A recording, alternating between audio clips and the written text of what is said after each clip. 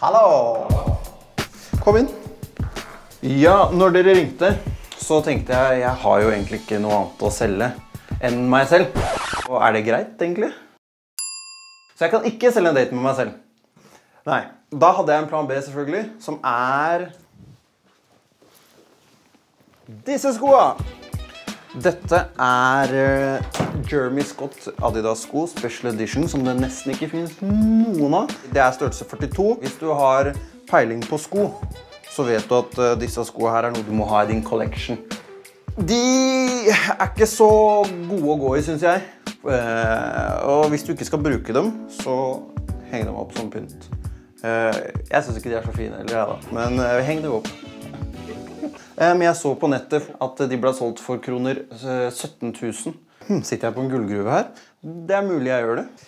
Jeg skal være snill og legge dem ut for 5000 kroner. Special edition Jamie Scott Adidas-sko. Gå på nettet for 17 000 kroner. Jeg selger dem til deg for kroner 5000 kroner. What a deal!